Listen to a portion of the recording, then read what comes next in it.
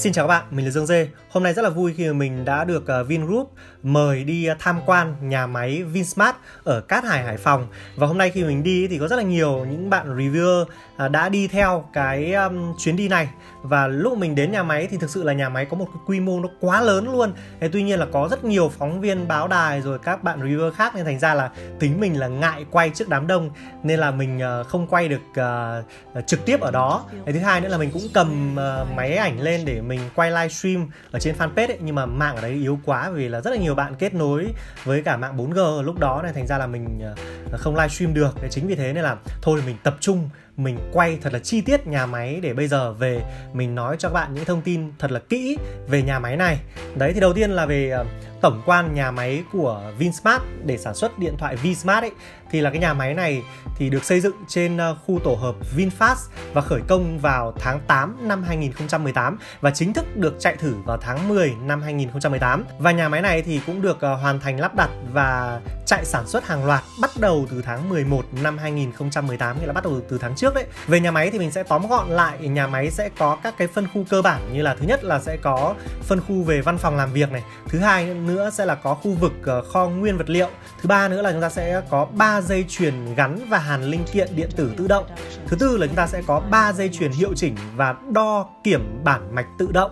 Đấy, tiếp theo nữa là chúng ta sẽ có 6 dây chuyền lắp ráp và đóng gói sản phẩm. Tiếp theo nữa là chúng ta sẽ có khu vực quản lý chất lượng và hai phòng thí nghiệm quản lý chất lượng. Và công suất thì được ờ, Vin công bố là sẽ sản xuất được tối đa là 5 triệu sản phẩm trong một năm. Đấy và với 5 triệu sản phẩm như này thì mình nghĩ là rất có khả năng nếu mà cái công suất này chúng ta được tận dụng đến mức tối đa thì hoàn toàn có thể nghĩ tới cái việc là xuất khẩu smartphone ra nước ngoài. Và các cái chủng loại điện thoại của Vinsmart sản xuất thì ờ, sẽ được ờ, phân bố theo từng năm. Ví dụ như là năm 2018 thì chúng ta sẽ có 4 model sản phẩm smartphone trung cấp nhé các bạn nhé. Và đến năm 2019 ý, thì VinSmart sẽ có khoảng 10 mẫu điện thoại với đa dạng chủng loại có thể là giá rẻ này, ờ, trung cấp này, cận cao cấp và cao cấp kiểu kiểu như vậy.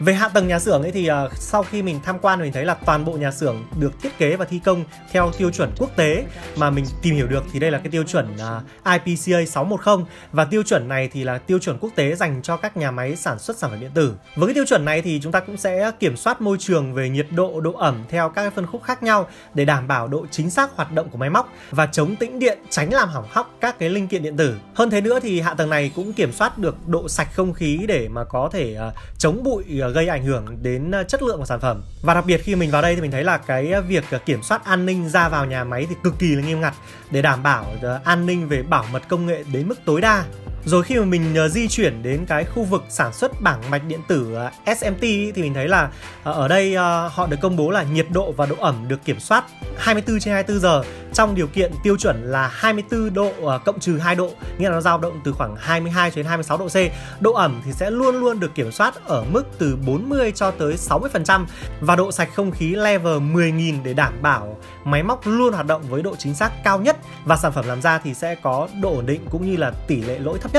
Máy móc tại dây chuyền SMT là các cái máy ờ, thế hệ mới nhất của các hãng chuyên sản xuất ờ, máy SMT hàng đầu thế giới. Ví dụ như là chúng ta sẽ có máy gắn chip ờ, ASM Cplate là cái thương hiệu số 1 thế giới từ Cộng hòa Liên bang Đức này. Rồi là chúng ta cũng sẽ có máy in kem hàn của hãng Speedline là một trong những cái thương hiệu số 1 của Mỹ. Chúng ta cũng sẽ có lò hàn thiếc của hãng Omnimax là thương hiệu số 1 thế giới của Mỹ. Và các cái máy kiểm tra quang học tự động ấy thì sẽ là của hãng Koyong là cái thương hiệu sản xuất số 1 thế giới xuất xứ từ Hàn Quốc. Ngoài ra thì mình thấy là cái à, dây chuyền thì cũng được đầu tư rất là nhiều những cái máy phân tích chất lượng thì đều là thương hiệu hàng đầu thế giới như là hệ thống cấp nguyên liệu vật liệu đến từ Italia này, máy mài và phân tích các cái lớp bản mạch in rồi là chụp cắt lớp X-ray à, thì đều được à, kiểm tra chất lượng các cái mối hàn rất là kỹ càng. Sau khi rời cái khu vực trên ấy thì mình đến cái khu vực hiệu chỉnh kiểm tra bảng mạch thì ở cái khu vực này thì nhiệt độ và độ ẩm sẽ được luôn luôn kiểm soát trong cái khoảng ờ, 25 cộng trừ 2 độ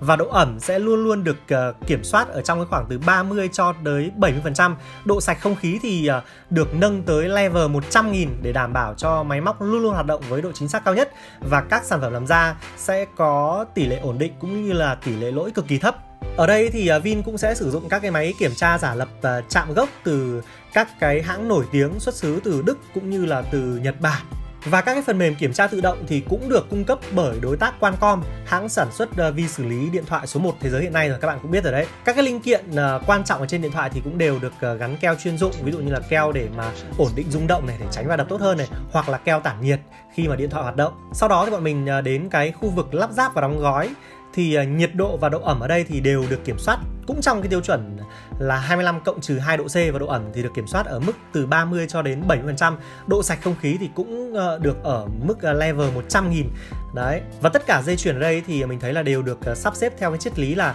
một luồng sản phẩm. Thao tác của công nhân thì được sắp xếp một cách rất là tuần tự. Hệ thống kiểm soát thì mình thấy là cực kỳ là chặt chẽ. Công nhân sẽ không thể bỏ sót được bất kỳ một cái công đoạn nào. Dây chuyển ở đây thì mình thấy là được bố trí tới 18 công đoạn kiểm tra trên tổng số 39 công đoạn để đảm bảo cho các cái chức năng của điện thoại đều được kiểm tra kỹ lưỡng 100%. Về hệ thống quản lý chất lượng thì như ở video trước mình cũng đã nói, đấy là hệ thống quản lý chất lượng ờ, của nhà máy được đánh giá và cấp chứng nhận theo tiêu chuẩn ISO 9001 2015 của tổ chức chứng nhận BVQI của Anh Quốc. Phòng thí nghiệm thì cũng được ờ, quản lý chất lượng linh kiện đầu vào cũng như là được trang bị những cái máy móc thiết bị để có thể đo lường, phân tích các linh kiện điện tử và vật tư cơ khí 100% các chủng loại. Về phòng thí nghiệm độ bền sản phẩm ấy thì mình thấy là ở đây sẽ có rất là nhiều những bài test ví dụ như là test đánh rơi này, rung sóc này, rồi là test độ bền kéo nén này, test độ bền phím bấm này, test độ bền màn hình, test độ bền màu sắc, test độ bền pin rồi là test độ bền các cái linh phụ kiện như là cáp, sạc vân vân và vân vân. Các tiêu chuẩn lấy mẫu và kiểm tra lô sản phẩm thì cũng đều được tuân thủ theo ờ, tiêu chuẩn quốc tế AQL.